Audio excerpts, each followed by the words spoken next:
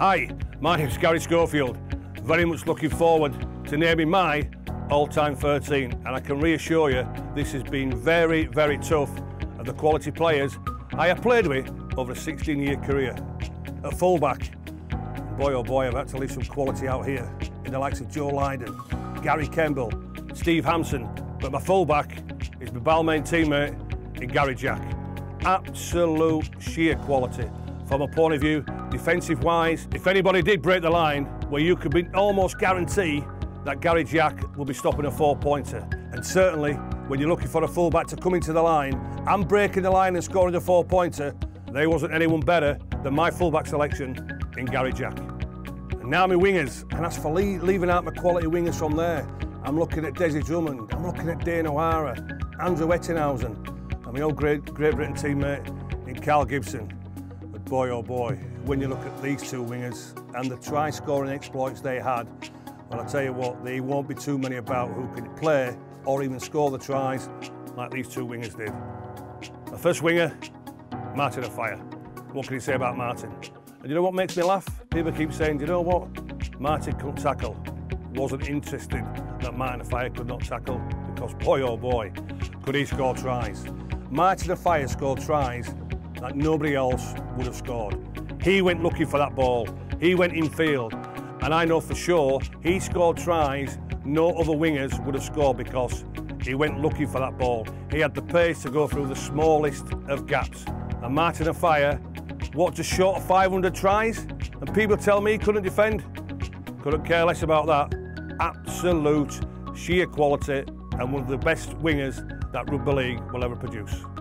And on the other wing, well, he's said uh, from the same area where I come from, the little dynamo himself in Jason Robinson. Saw Jason play very much his amateur days where I was at Hunslet Parkside. Destined for the top, but in them days, Jason was a scrum half. But in the professional game, he wasn't going to be a scrum half.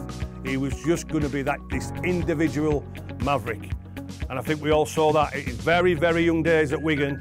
And then certainly, certainly that try would have scored in the grand final to win the first grand final for Wigan just showed you how dynamic Jason Robinson was. Footwork, speed, and I tell you what, if you wanted somebody to make a difference on the Rugby League field, well, you've got it certainly from my pair of wingers in Jason Robinson and Martin Offiah. My two centres, oh, this was very, very tough. And when I'm leaving the likes of Craig Innes, Kevin Iro, Daryl Powell, Paul Loughlin, Paul Newlove, and Gary Connolly out of my 13, well, you'll understand why when I name my right centre and left centre. At number three, I've got the Pearl himself, in Ellery Hanley. When you want somebody to come up with that try-saving tackle, the Pearl will do that for you. When you want somebody to be a game changer, to come up with that champion try, as we all saw for Bradford Northern against Featherstone many, many years ago. I don't think there's been a try scored for many, many years on that sort of standard. But what you got with Ellery was quite simply a leader on that field. Whatever position Ellery played, Ellery Hanley as a centre, defensive-wise, try-scoring-wise, you won't find anybody better in the right centre than the Pearl himself in Ellery Hanley.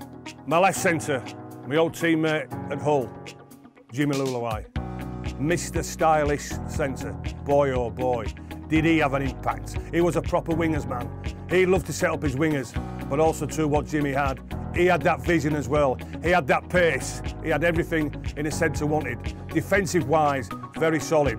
As far as an all-round centre goes, they want anybody better than my old teammate in Jimmy Leuluai. At standoff, it's my old Balmain teammate and Great Britain teammate, Tony Myler.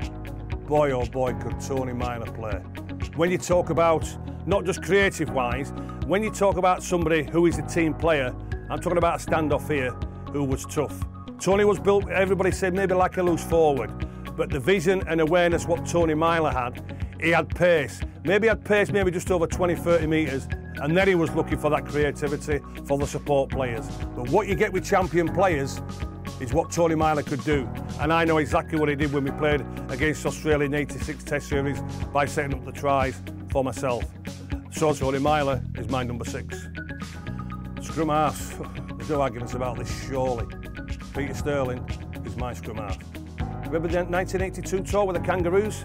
I was watching on television like everybody else, and everybody was thinking, who's this scrawny little scrum half? Who's this scrum half with a long blonde hair? Surely he can't be a rugby league player. He can't be that good to play for the Kangaroos. When I managed to play with him at Hull and also to play against him in 1984, you just appreciated what a great player he was.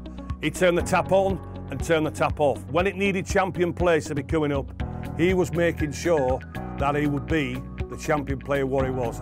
I tell you what, he might not be quick between the legs, but where he is quick is between the ears. And Sterling will go down best number sevens that's ever played rugby league.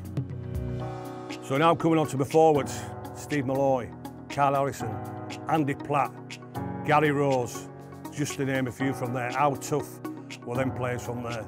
But my two front rowers, Lee Crooks and Steve Roach. Well, Lee Crooks, as a front rower who could pass the ball, not only mix it with the best, not only mix it with the toughest, but his ball skills was absolutely sensational. And when you look at the all-round game, not just with a ball in hand, his kicking game was brilliant. His tactical kicking, his goal kicking, and also as well from being a leader, he would always set the right example. And so Lee Crooks, as a front rower, all-round front rower, simply one of the best. My second front rower, Steve Blocker Roach.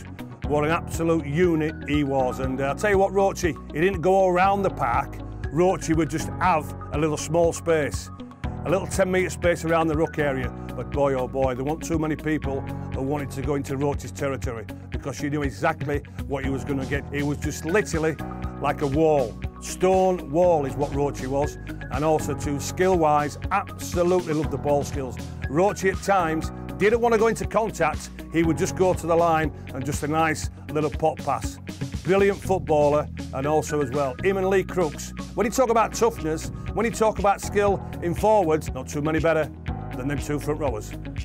And my hookers, well, I tell you what, that's what quality hookers about as well. And uh, when I look at the uh, the ones I'm leaving out, James Lowes, Colin Maskill, Lee Jackson, absolute sheer quality hookers there. But the one I've gone for, Benny Elias. I can't separate him, I would say, between him and Cameron Smith that's been the best hooker that's ever been. But when you mention with Benny Elias, a boy oh boy, for three years, he was an absolute freak. He brought a new dimension to the hooking game. He brought it around that vision and that uh, organisation and that awareness around the ruck area. It was a move called two-step where Benny would go to the blind, come back to the open or vice versa and absolutely rip ripped the ruck area apart with his vision, but it was just his all-round play. He was the biggest and best competitor you would want in the middle of the field. And I tell you what, if any team had a Benny Elias, they won't be far off winning competitions. My second rowers who I'm leaving out, Dennis Betts, my captain in New Zealand in 90, Mike Gregory, Paul Dixon and Roy Powell. But my back rowing pair, again, it's from my Balmain teammates. And that's Big Paul Sironen and the man himself, in Wayne Pearce. When he was playing against him, the mighty Wayne Pearce, just simply sensational. Running out wide, the speed of him, his ball skills, and also to his competitiveness. Piercy is up there with Ellery Hanley from a point of view by being the biggest and best competitor I've been associated with Rugby League, an absolute warrior. And then when you look at the second row partner in Paul Sironen, what more can you say? He absolutely terrorised defences. And I can reassure you, when I was playing for Balmain for three years, it was an absolute delight to be playing outside him because she knew the damage he was going to cause. He was running opposition centres, they couldn't control him, and if they did, he had the ball skills to set the centres up himself, i.e., that's me why I finished, I would say, the top try scorer in the NRL with the distribution skills of Wayne Pearce and Paul Sironen playing in the back row. A combination of toughness, speed and skill. My loose forwards, again leaving out quality loose forwards, but there's only one loose forward for me, and that's my Hull teammate in Steve Norton. Absolute sheer genius. And what makes the difference of all these players what I have picked and make them champion players is because they can see things on the rugby league field, what they are going to command. And when Steve Norton commanded that ball, you made sure you give it to Knocker because one thing for sure you knew was going to happen, he was going to create a try. He was going to create opportunities he wasn't just a skillful player, was it, Knocker? He was tough as well. He'd mix it. He wouldn't take a backward step against anybody. And it just goes to prove the man himself. winning the grand final with Manly in 1975. That just proves, from a point of view, throwing, showing in the, the great footsteps of the great Mal Reilly by quality, sensational loose forwards. Steve Norton, if you want again another man in the trenches to come up with that champion play, to come up with that match-winning play, Steve Norton, as a loose forward, was that man. Let me tell you what, it's been difficult picking my all-time 13. Now they're asking me to pick a captain. And when you look at the captains that are in that side, from Ellery Anley, Lee Crooks, Wayne Pearce, Steve Norton, but also two I've not mentioned one from there. So my captain and my all-time 13 will be the scrum half in Peter Sterling because Sterling would just literally organise everything from there and also too as well come up with a champion play. That's why Peter Sterling just gets my captain's pick. Thanks for asking me for this task of picking my 1 to 13. But one thing for sure, listen fellas, please mates, teammates, don't get a little bit upset annoyed because you've just missed out a touch. Just missed out a touch. But one thing for sure, if I had to pick a second 13, you'd be in that fellas. You'd certainly be in that.